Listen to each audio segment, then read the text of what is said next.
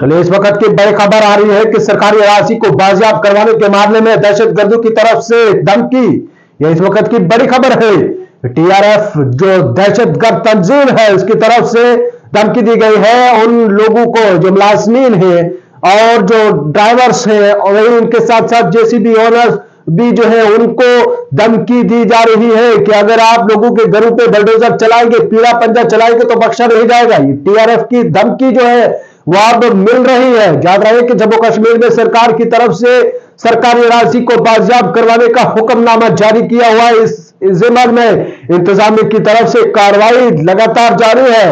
और भाई जराये के हवाले से जो खबर मिल रही है कि टीआरएफ यानी कि दहशतगर्द तंजीम की तरफ़ से इस वक्त जो धमकी मिल रही है कि अगर आप लोगों के घरों पे बलडोजर चलाएँगे तो बख्शा नहीं जाएगा। इसमें आला अफिसरान के साथ साथ जितने भी लोग जो है वो इसमें मुलवस है, जो इस सरकारी ज़मीन को बाजियाब करवाने में काम कर रहे हैं, उनको भी जो है वो धमकाया गया है। ये इस वक्त की बड़ी खबर। भाई इस ज़मीन में इंतजामिया की तरफ़ से सिक्योरिटी की तरफ़ से भी जो है वो कार्रवाई अमल में लाई जा रही है। तहकीकात जो है वो शुरू कर दी गई है ताकि देखा जाए कि आखिरकार क्या कुछ मामला थे किन तंजीमों के लोग हैं जो सरकारी राज़ी के ऊपर बसे हुए हैं और बिलाखिर टीआरएफ की तरफ़ से भी जो है वो धमकी दी गई है।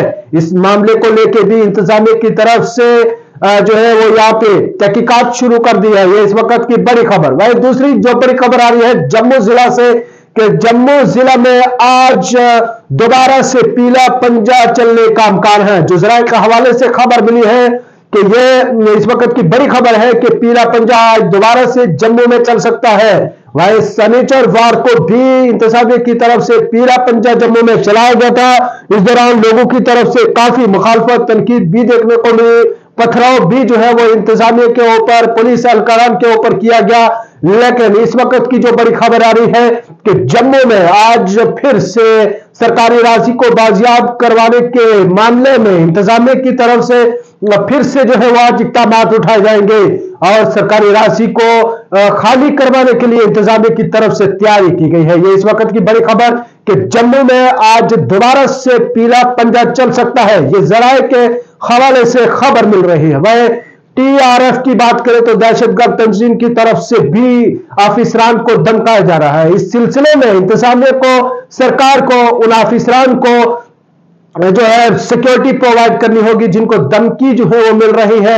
इस मामले में सरकार को संजीदगी से लेना होगा, लेकिन टीआरएफ की तरफ़ से वाजह तौर पे अफिसरान के साथ साथ ड्राइवर्स जेसीबी ओनर्स को भी धमकाया जा रहा है कि अगर आप बलडोजर चलाएँगे तो बख्शा नहीं जाएगा।